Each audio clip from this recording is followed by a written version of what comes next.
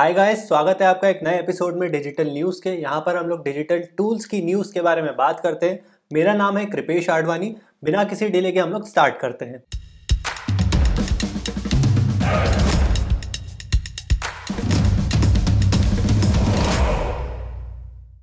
सो so, जो इस हफ़्ते की सबसे पहली न्यूज़ आ रही है वो आ रही है पेपाल की तरफ़ से। पेपाल ने यहाँ पर अपना बिज़नेस को बंद कर दिया है इंडिया में। ना यहाँ पे पेपाल के दो बिज़नेस चलते हैं इंडिया में। एक है इंटरनेशनल ट्रांजेक्शन को लेकर के जो रेमिट करते हैं लोग जो इनवर्ट ट्रांजेक्शन आते हैं वो सब देखते हैं। दूसरा है एज अ पेमेंट गेटवे तो जो पेमेंट गेटवे का काम ये लोग करते थे, अब इन्होंने वो बंद कर दिया है। क्यों किया है? क्योंकि कंपटीशन काफ़ी ज़्यादा बढ़ गया है इंडिया में और यूपीआई आने के बाद में तो और ज़्यादा कंपटीशन हो गया। यूपीआई पेमेंट से Amazon Pay Google Pay PhonePe, फिर कार्ड्स है, फिर ऑनलाइन पेमेंट की बात करूँ तो रेजर पे है। तो काफ़ी ज़्यादा कंपटीशन बढ़ गया था इस सेगमेंट में, इसीलिए पेपाल ने यहाँ पे ये बंद कर दिया है। लेकिन जो दूसरा सेगमेंट है जहाँ पे पेपाल डोमिनेट करता है वो है इंटरनेशनल ट्रांजेक्शन को लेकर के। तो अगर आप लोग फ्रीलांसर हो तो पेपाल तो आपने डेफिनेटली यूज़ किया ही होगा ब्लॉगर हो तो भी किया होगा। पेपाल वहाँ पर अभी भी डोमिनेट कर रहा है। इनफैक्ट पेपाल का रेवेन्यू भी काफ़ी ग्रो किया था। अराउंड क्वार्टर फोर में इसने dollar two seven seven billion का यहाँ पे रेवेन्यू पोस्ट किया है। तो it's a huge amount and क्योंकि कोविड हुआ था तो उसकी वजह से यहाँ पे इसको और बूस्ट मिल गया है। सो so यहाँ पे इनवर्ड आउटवर्ड रेमिटेंस में आपको कोई फ़र्क नहीं पड़ेगा। सिर्फ़ जो पेमेंट गेटवे था उसको यहाँ पे बंद कर दिया गया। डोमेस्टिक पेमेंट्स डोमेस्टिक ट्रांजेक्शन के लिए। अगर आप लोग कोई मनी आपकी बाहर से आ रही थी पेपाल के थ्रू तो वो अभी भी आएगी, उसमें आपको कोई प्रॉब्लम नहीं आने वाली है। अगली अपडेट यहाँ पर आ रही है पेपाल के कॉम्पिटिटर की तरफ़ से, जो कि पेयोनीर है।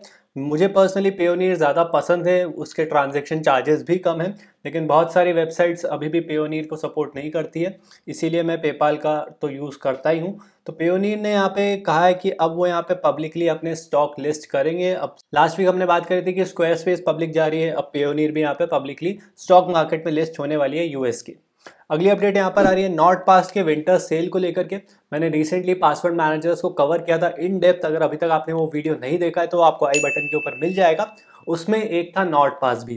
तो यहाँ पे नॉट पास में काफ़ी अच्छी विंटर सेल आई है, जहाँ पे आपको दो साल का subscription around thirty six dollars में मिल रहा है। आपको उसका लिंक नीचे मिल जाएगा और मेरे लिंक में एक महीने का एक्स्ट्रा ऑफ़ भी है। तो डेफिनेटली काफ़ी अच्छी डील है, जहाँ पे दूसरे पासवर्ड मैनेजर सिर्फ़ एक साल का दे रहे हैं, ये उसी प्राइस पॉइंट पे दो साल का आपको दे रहे हैं इनकी विंटर सेल में। ऐसे ही सेल इनकी ब्लैक फ्राइडे के टाइम पर भी आई थी, अब ये विंटर सेल पे आ रहा है तो अच्छी डील है अगर आप लोग चाहते हो नॉट पास को लेना तो ले सकते हो थर्टी डेज़ की मनी बैक गारंटी भी मिल जाएगी। यू कैन ट्राई और क्या मेरा एक्सपीरियंस रहा, वो आपको मेरे बेस्ट पासवर्ड मैनेजर वाले वीडियो में मिल जाएगा। अगली अपडेट यहाँ पर आ रही है एयरटेल यूज़र्स की डेटा लीक को लेकर के अराउंड 26 लाख एयरटेल यूज़र्स जो कि जम्मू एंड कश्मीर से हैं, उनके डेटा यहाँ पे लीक हो गए। एयरटेल का हालाँकि ये कहना है कि उनकी तरफ़ से यहाँ पे डेटा ब्रीच नहीं हुआ है एंड डेटा ब्रीच तो हुआ है लेकिन एयरटेल अभी इसे एक्सेप्ट नहीं कर रहा है। हो सकता है कहीं किसी दूसरी सोर्स से हुआ हो, लेकिन 26 लाख यूज़र्स के डेटा यहाँ पे लीक हुए हैं। अगली अपडेट यहाँ पर आ रही है वन पासवर्ड की तरफ़ से वन पासवर्ड वही पासवर्ड मैनेजर है, जिसको मैंने सबसे ज़्यादा रिकमेंड किया है अपने पासवर्ड मैनेजर वाले वीडियो में। तो यहाँ पर इनकी टीम में एक नया बंदा आ गया है अक्षय भार्गवा करके and he is going to be the chief product officer of one password तो ये लोग अपनी टीम में काफ़ी ज़्यादा लोगों को अपॉइंट करते जा रहे हैं। इनफैक्ट पिछले कुछ टाइम में यहाँ पर इन्होंने 180 से लेकर के 400 तक अपनी एम्प्लॉय स्ट्रेंथ को बढ़ा दिया है। एंड 75,000 के इनके पास एंटरप्राइज कस्टमर्स है। तो वन पासवर्ड की ग्रोथ अभी काफ़ी अच्छी हो रही है। और जो अक्षय भार्गवा है वो फॉर्मर मेलवेयर बाइट्स और ओराकल के चीफ एग्जीक्यूटिव रह चुके हैं। तो अच्छी बात है वन पासवर्ड यहाँ पर अपनी टीम को अच्छा कर रहा है, हमें ही अच्छा प्रोडक्ट देखने को मिलेगा सो दैट्स गुड फिर नेक्स्ट अपडेट यहाँ पे बिट वार्डन की तरफ़ से भी आ रही है बिट वार्डन भी अपने आप को पीछे यहाँ पे क्यों छोड़े? तो यहाँ पर इन्होंने एक नया सिक्योरिटी एंड कंप्लायंस प्रोग्राम का ब्लॉग बताया है, जहाँ पे इन्होंने कुछ नई सिक्योरिटी डिटेल्स बताई है एस टाइप टू के सर्टिफिकेशन बताए हैं बेसिकली ये सर्टिफिकेशन ये सर्टिफिकेशन ये बताते हैं कि जो इंटरनल जो प्रोग्रामिंग स्ट्रक्चर है, सब ठीक ठाक से हो रहा है कि नहीं हो रहा है। फिर यहाँ पे इन्होंने वाइट पेपर भी रिलीज़ कर दिया है कि कैसे उनके वॉल्ट प्रोटेक्शन काम करता है, सब कुछ अच्छे से यहाँ पे ओपनली इन्होंने बता दिया है। अगली अपडेट आ रही है यहाँ पे यूरोपियन यूनियन के एक लॉ से रिलेटेड यहाँ पे यूरोपियन यूनियन ने एक लॉ बीच में पास करने का चल रहा है इन लोगों का, कि जो एंड टू एंड इंक्रिप्शन होते हैं, उसकी कीज गवर्नमेंट के पास होनी चाहिए ताकि अगर कुछ क्रिमिनल एक्टिविटीज़ हो तो गवर्नमेंट उसको डिक्रिप्ट करके देख सके। ऐसा ही कुछ वो लोग यहाँ पे लॉ बनाने की कोशिश कर रहे हैं। तो इसके लिए प्रोटोन मेल ट्रिसॉरिट थ्रीमा और एक दो और कंपनीज़ है जिन्होंने उनको यहाँ पे सजेस्ट किया है कि ऐसा नहीं हो सकता और ऐसा करना भी नहीं चाहिए एंड इन माय ओपिनियन ये चीज़ नहीं होनी चाहिए कि अगर एंड टू एंड इंक्रिप्शन है तो एंड टू एंड इंक्रिप्शन ही होना चाहिए। ऐसा तो फिर गलत हो जाएगा, फिर तो चाइना वाला सीन बन जाएगा, सब कुछ गवर्नमेंट के पास कंट्रोल रहेगा। तो अगर एंड टू एंड है तो एंड टू एंड ही होना चाहिए, उसको कोई भी डिक्रिप्ट नहीं कर पाना चाहिए बिना हमारे मास्टर पासवर्ड के। It's a big thing for us security privacy matter करती है। आप लोगों की क्या ओपिनियन है इस मैटर में? क्या गवर्नमेंट के पास ये पावर होनी चाहिए कि वो किसी भी चीज़ को डिक्रिप्ट करके देख सके, चाहे इंडिया में, चाहे यूएस में, चाहे यूरोप में? Do let me know in the comment section below अगली अपडेट यहाँ पर आ रही है वर्डप्रेस की तरफ़ से। वर्डप्रेस ने यहाँ पर अपनी पॉडकास्ट लॉन्च कर दिया है डब्ल्यू बी ब्रीफिंग के नाम से। तो यहाँ पे बेसिकली ये वर्डप्रेस के बारे में बताएँगे। वर्डप्रेस में क्या क्या चेंजेस आ रहे हैं, क्या डेवलपमेंट आ रही है, क्या इनकी फिलोसफी है। तो एट प्रेजेंट तो ये इसी के अराउंड रहेगा। देखते हैं आगे ये लोग और कौन कौन से टॉपिक इंट्रोड्यूस करते हैं। अगली अपडेट यहाँ पर आ रही है क्लब हाउस को लेकर। ये क्लब हाउस जैसे कि मैंने लास्ट वीक बताया था कि क्लब हाउस की वजह से जो डॉट क्लब डोमेन्स है, उसमें काफ़ी स्पाइक आया है। एंड क्लब हाउस काफ़ी सारे यहाँ पे इन्वेस्टर्स में लास्ट वीक यहाँ पे इन्वेस्ट किया है डॉट क्लब डोमेन्स में, सिर्फ़ last week he.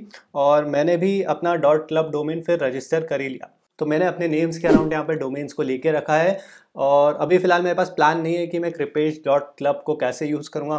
May be community form में अगर कुछ कम्युनिटी आगे चल के बनाई, कुछ फोरम वगैरह बनाए तो उसके लिए ये वाला डोमेन अच्छा रहेगा।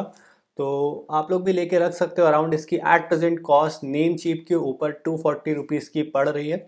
तो आप लोग भी अगर इंटरेस्टेड हो तो ले सकते हो। लिंक आपको नीचे मिल जाएगा। अगली अपडेट यहाँ पर आ रही है वेराइजन की तरफ़ से। वेराइजन ने यहाँ पे एक चैटबॉट बनाया है डोमेन नेम्स को सिलेक्ट करने के लिए।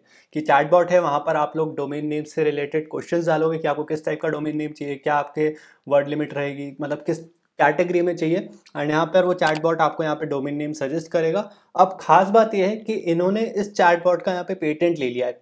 मैंने पहली बार देखा है कि किसी चैटबॉट का यहाँ पे पेटेंट लिया गया है। अब आई डोंट नो कि चैटबॉट का यहाँ पे पेटेंट कैसे काम करेगा। क्योंकि टेक्नोलॉजी बैकएंड की तो कभी कोई कंपनी रिवील नहीं करती है, लेकिन मतलब चैटबॉट तो कोई भी बना सकता है यहाँ पर।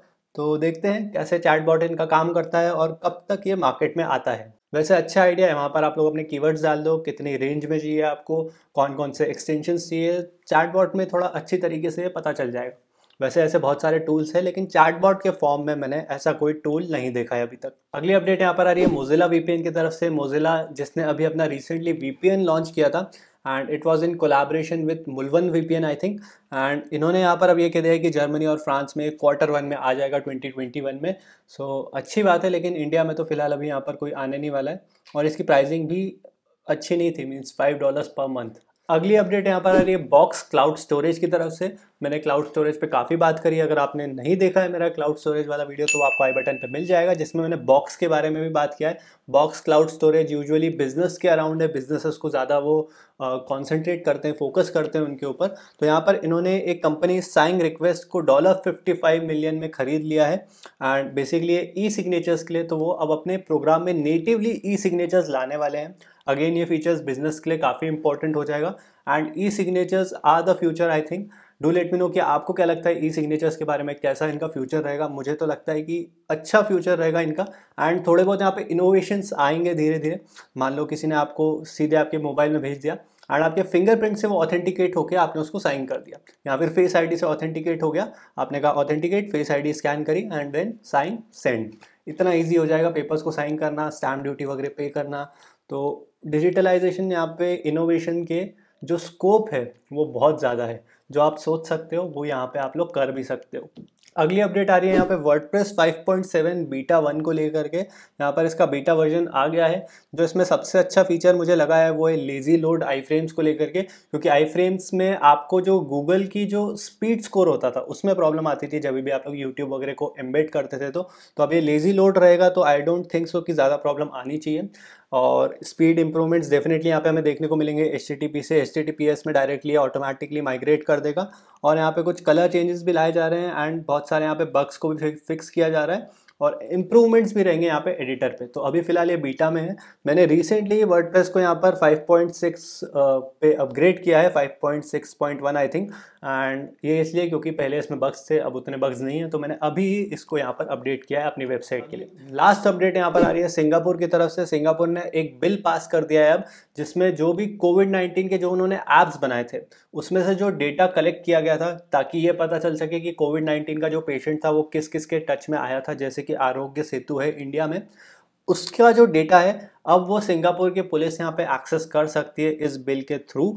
क्यों एक्सेस करेंगे? क्योंकि इनके हिसाब से इसके थ्रू क्रिमिनल्स को पकड़ना थोड़ा और इजी हो जाएगा। तो इसके दो एक्सट्रीम्स है। कुछ लोग कह रहे हैं कि ये काफ़ी अच्छा मूव है। कुछ लोग कह रहे हैं कि प्राइवेसी हमारी खतरे में आ रही है। तो क्या ओपिनियन है आपके? Do let me know in the comment section below so ये थी इस हफ़्ते की इंपॉर्टेंट डिजिटल न्यूज़ अगर आपको ये वीडियो अच्छा लगा तो उसको थम्स अप दे दीजिएगा कमेंट कर दीजिएगा कुछ अच्छे अच्छे चैनल को सब्सक्राइब कर लीजिएगा ताकि आपको नेक्स्ट वीक भी और अच्छी अच्छी न्यूज़ इसी तरह से मिलती रहे। And I will see you guys in the next one goodbye